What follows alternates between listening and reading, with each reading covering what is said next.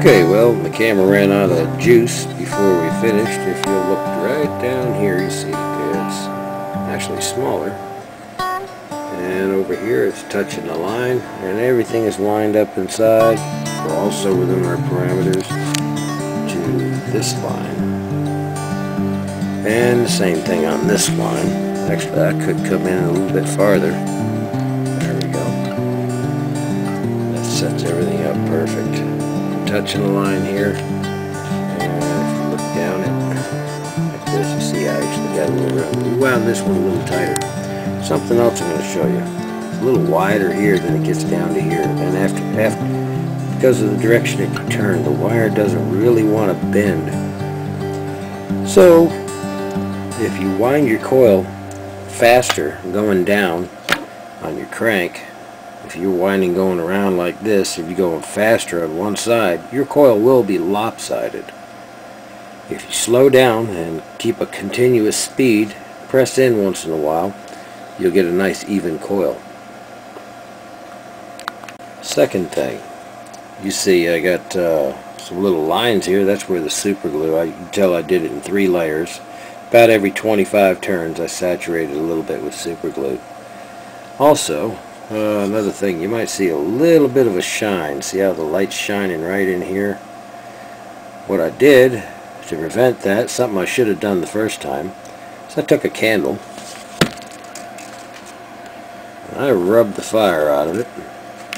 And then I uh, pushed it in with my thumb and spread it out real easy. You know, just like when you're doing with crayons, crayons leave little lumps and then spaces between if you bear down. But you can press it down smear it out nice and smooth. And look at that shine, just like a nice hardwood floor. Alright, we got 14 gauge wire sitting over there inside the, the drill, holding it as a spindle with a little bit of pressure. It's hard to turn. There's three coils. The first one on the left I'd done before getting on the camera. The second one here, we got through halfway through and the camera lost uh, power. The third one I just did because I forgot to put the tape on to show you how, so I just hadn't wound one. That's been about 15 minutes ago. And down here is where we're going to be. Alright, we got the first seven windings on onto this already, and what I'm going to do is I'm going to put a line of super glue. I've waxed the whole form inside and the sides, so I'm just looking for a drop in between each of the wires here at the top and where this starts coming across here. I'm not trying to paste it to the side, but I'm going to put some through it and let the capillary action work. I'm going to put a decent drop right there and then all the way across just run a line and make sure it's got enough to make capillary action run down a little bit more. Capillary action is where the you put a drop on something and if it's fibrous it absorbs kind of like your uh, paper towels. Without the fibers the capillary action wouldn't work as fast and wouldn't soak up as much. Alright, another line across these getting this evenly all the way across on the first set. What I what I like, what I found works pretty good is I see a wire sitting up a little high when I'm looking down it and I press it down even with this. That little gap helps out. Oops, that's trying to move over a notch. I think, there we go. Keeping it kind of even makes it kind of easy to roll and you take your time and give the wire time to bend so your coils don't come out well lopsided. So I'm going for the best one I can here.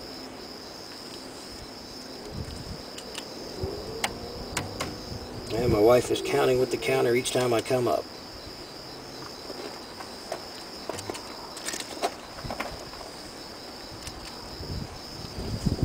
so far, I've got a nice even, what number is that? 13.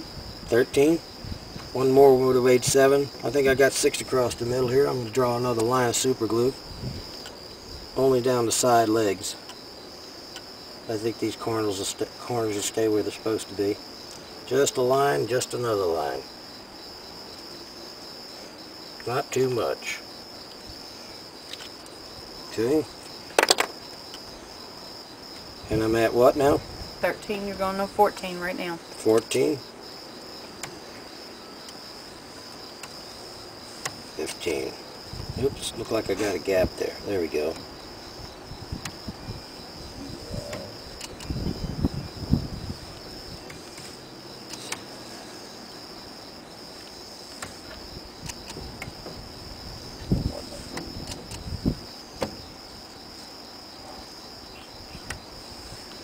Leave that 20. Yep.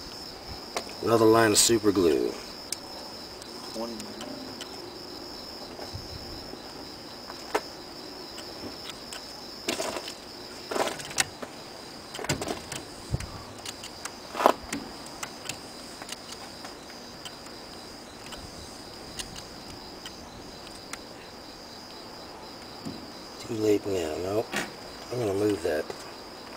Not to scratch the wire. Yep, moved over just fine. That wants to split there. Okay.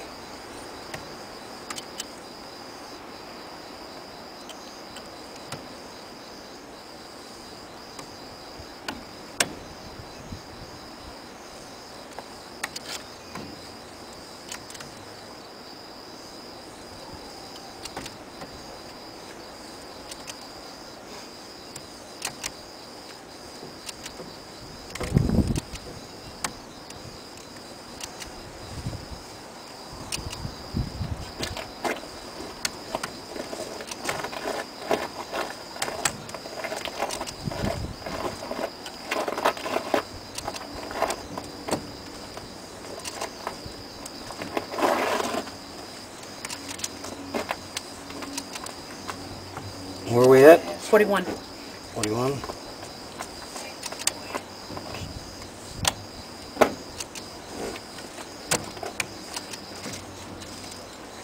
Where are we at now? 45. Is that 46? Is that 46? Yes, 46. Alright, I'm going to run a good drop across here. When I turn it sideways, some of it should flow. I'll run it across here. Pull my wire to where I think it ought to be. Yeah, looks like it wants to stay there. That's fine. I got a bug trying to get in my mouth. Not much fun. Alright, get out of here. Alright.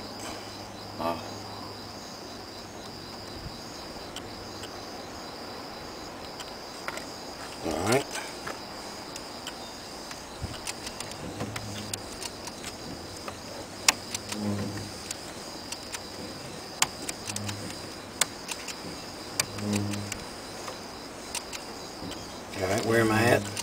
56.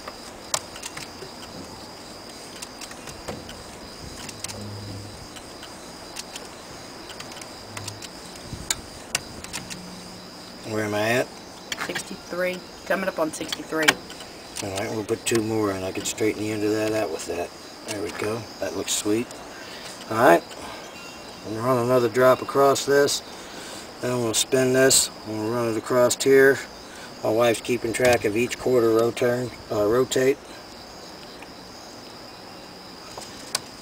So we ain't missing the lap. There we go. I'll put the super glue bottle down. That's right. Trying to keep it spinning even, smooth speed. Keep from having warped coils.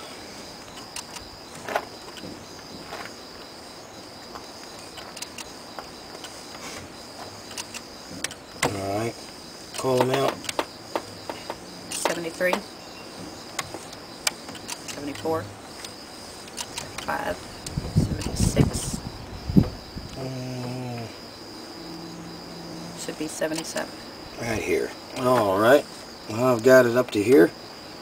Time to run this across. I should have ran it the last three quarters. That'd be a good tip. You get to watch me do it the wrong way. It's alright. I can get to three sides of it. And three sides of it. Notice the uh, tension is still on the wire because I'm leaning against the crank. And I got this up here. I'll press it down. I run straight across up here and I'm going to twist these two together one and a half turns just after I break this. And I'm going to take this back. I know you can't see it off camera. I'm breaking the wire here. Hooking it up to keep it tight on my spool. And I'll press this down right here. Take this right out this little groove. And I'm going to twist these, pull this one all the way up nice and tight. Put them together. About one and a half turns is pretty good. While you got this held down, go ahead and just lay this over to the side and to the middle. Twist these out of the way, or you can work, take this thing off. Alright, good. First thing I'm going to do is take this. Camera still rolling? Yes. Okay. Alright, take these two off. Pull this around up to here. Need to cut this right here. Here it is. There we go.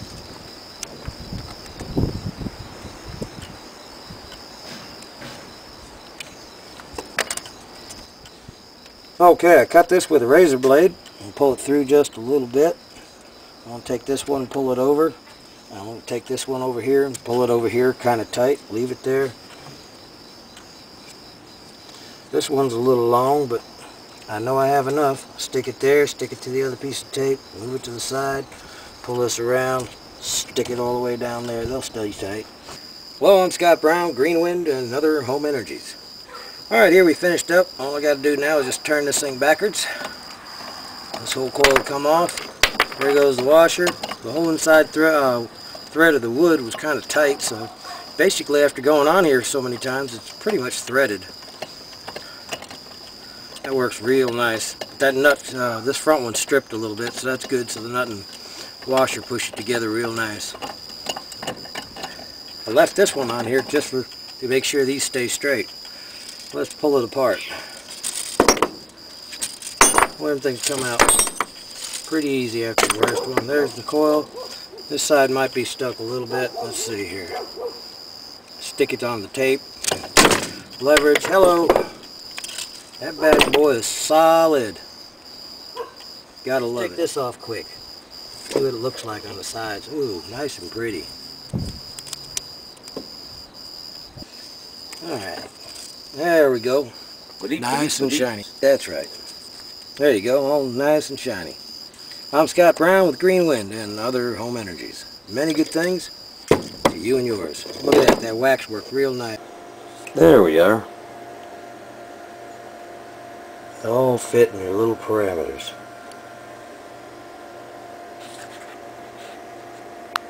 Each line on each side, all the way around. They fit nicely. As a matter of fact, I got a small gap there, a very small gap there, and almost a gap there. I guess I would call that a gap they could touch. Basically, these are going to fit nicely. I could afford to line them a little less uh, neat like this, put them a little sloppy like this, they'd fit just fine. I'm Scott Brown with Green Wind and other home energy. Many good things to you.